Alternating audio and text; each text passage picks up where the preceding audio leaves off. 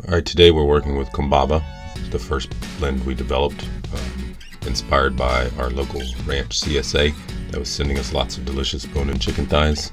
Uh, so we wanted to develop a blend for oven roasting weeknight chicken.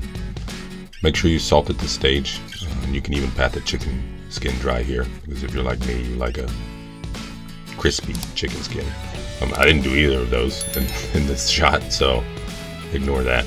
Um, by the way, is a French term for makrut lime. So if you enjoy Thai food, you'll definitely enjoy this. Um, very uh, bright lime flavor. It's blended with smoked paprika and coriander to kind of balance it out a little bit. Um, I'm using about two tablespoons of the mix with about two tablespoons of the olive oil.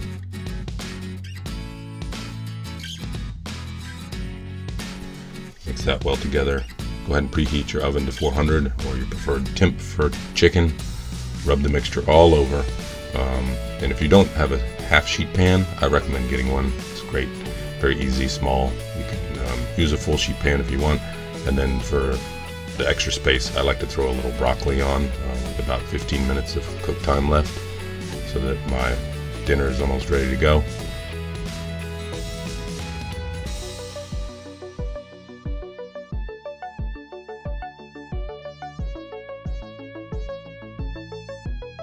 Um, make sure you oil that broccoli and salt it well.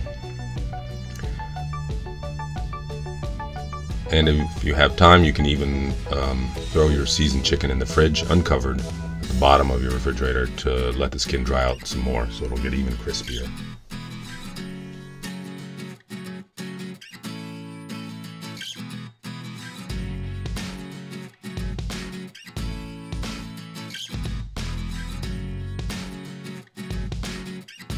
Cook time for this is about 30 35 minutes. Again, depends on your oven and, and how you like to cook your chicken. This is such an easy weeknight recipe, especially if you do everything on one sheet pan. Just throw a, a little salad together at the end and you're ready to go. Enjoy.